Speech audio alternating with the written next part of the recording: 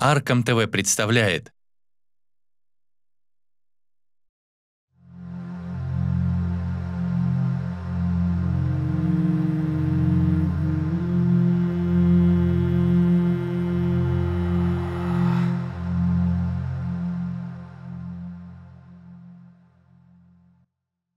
Итак, какова польза в знании того, что предпочтение, которое Адам мир ему и его дети получили от Аллаха, это результат знания, которое Аллах даровал им, и что это знание выше и почетней, чем поклонение.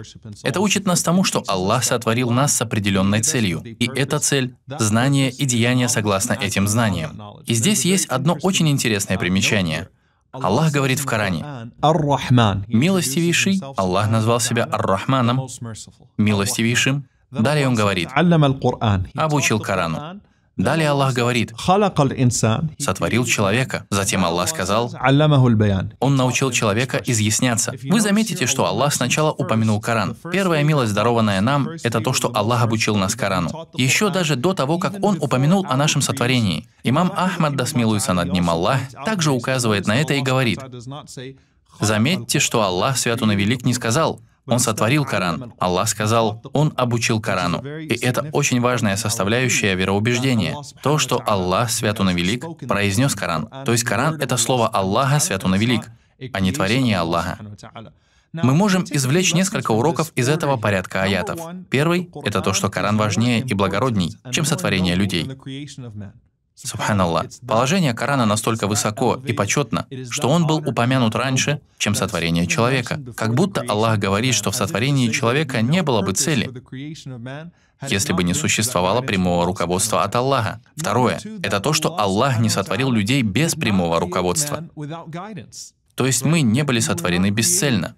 Мы были сотворены для совершенно ясной цели. И поэтому, когда Аллах, свят он и велик, говорит, что мы вышли из утробы своих матерей, далее Он говорит, затем Он облегчил ему путь. Это выражение имеет двойное значение. Первое — это то, что Аллах, свят он и велик, облегчил ему выход из утробы матери, то есть сделал беременность легкой. И второе — это то, что Аллах, свят он и велик, облегчил вам духовный путь, прямой путь, на который вы должны встать, путь знаний, путь поклонения Аллаху и так далее и тому подобное. И в этом кроется ответ агностикам, скептически настроенным теистам и другим, тем, кто заявляет, что, возможно, Бог существует, и вероятнее всего Бог есть. Однако Он сотворил нас без определенной цели, что якобы мы не знаем, чего Бог хочет от нас, и что Бог не отправлял никаких посланников или послания, и так далее и тому подобное. Какой был бы смысл Аллаху создавать все это без прямого руководства? Имам Ас-Суюты, да смилуется над ним Аллах, комментируя этот порядок аятов в суре Ар-Рахман, говорит,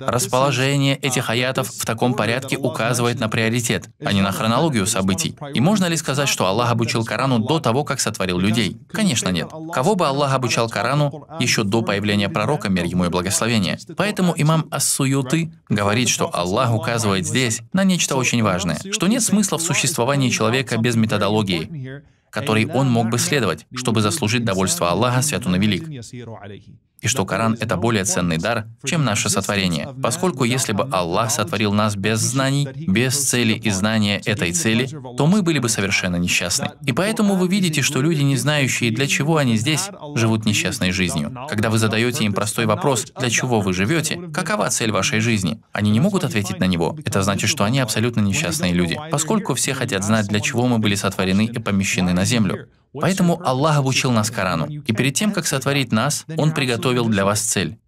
Прямое руководство. Аллах, Свят Он и Велик, сотворил вас ради цели. Для этого прямого руководства. Затем Аллах сказал, что Он обучил нас изъясняться. Способность изъясняться — это одна из самых великих милостей Аллаха, Свят Он и Велик.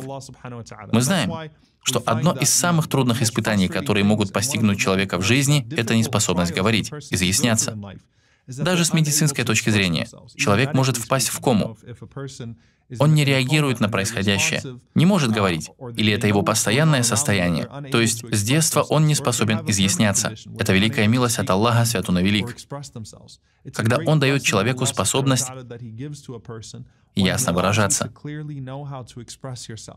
Но заметьте, Аллах упомянул способность изъясняться после знаний. Это указывает на то, что мы не должны говорить без знаний. Не говорите без знаний. Сначала идет знание, затем речь.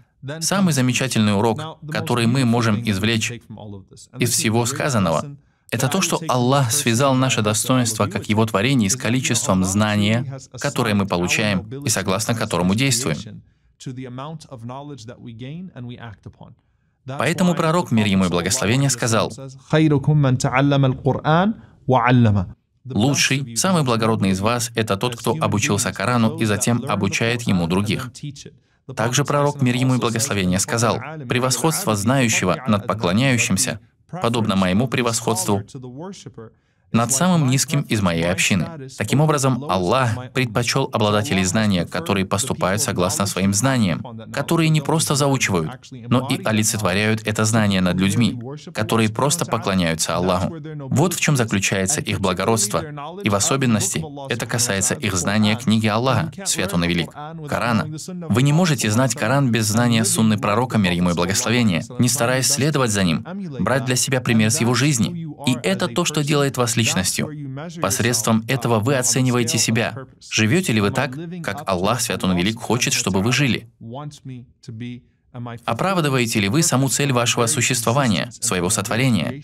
Мы просим Аллаха Свят Он Велик сделать нас из числа тех, кто следует правильному пути, стремится к Его довольству и живет согласно своей цели.